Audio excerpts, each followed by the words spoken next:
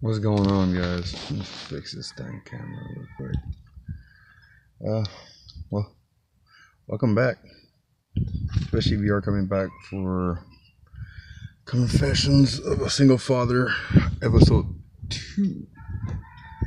Um, as you can tell, I'm inside my truck again, and which means I'm more likely at work, making sure nothing happens to the people that are around me.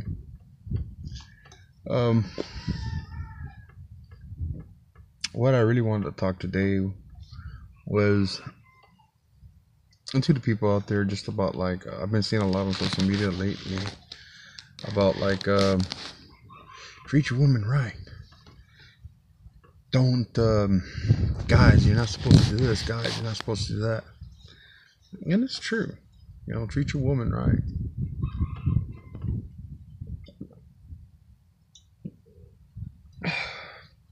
But it goes vice versa for women as well. Hope I used that right. Um, in today's society, a lot is forgotten about how things maybe should be.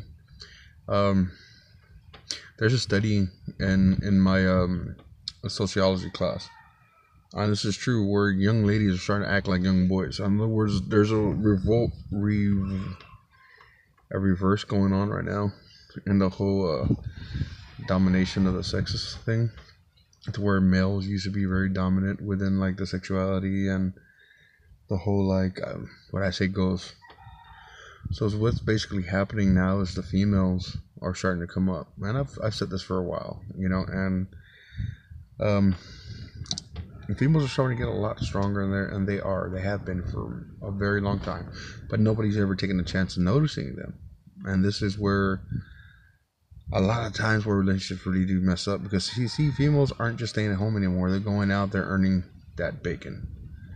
And in majority of the time they're even hungrier than the men where they're not bringing home just the bacon. They're bringing home a slab of bacon. And guys are getting pissed. You guys are getting pissed. You, you know who you are. Poke in the damn face. Um, so marriages seem to crumble a bit you know uh, I know there's a lot of guys out there who still want their women just to be subservient and, you know, stay home. Uh, come on. Unless you're a millionaire and you're working at a 500 fortune club or you're just well off in the middle class range, that's not going to happen. When you're in a certain bracket, two people should be working, not just one. Especially when the kids are older enough, older when they're old enough, it should be two y'all working. Um,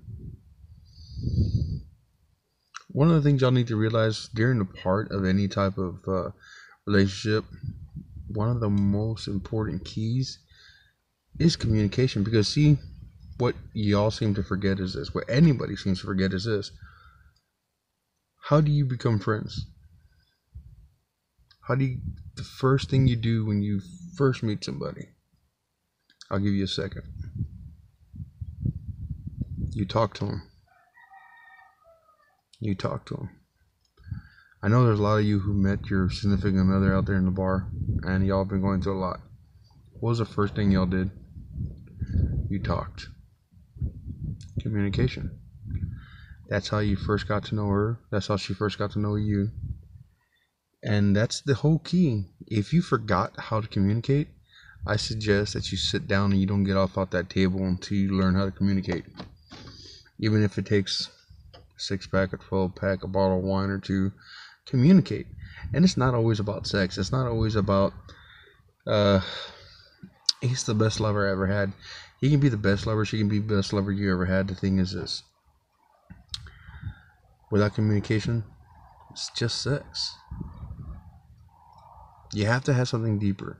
Now you can have fun. I'm not saying you, you can't go out there. You can't have fun. You can't do you because you can't. Now, I guess you're wondering where it's like a. So it's called Confessions of a Single Father, and you're just telling us what to do or giving us advice. Here's one part from the very first time I met my son's mom, She thought I was a virgin. I wasn't.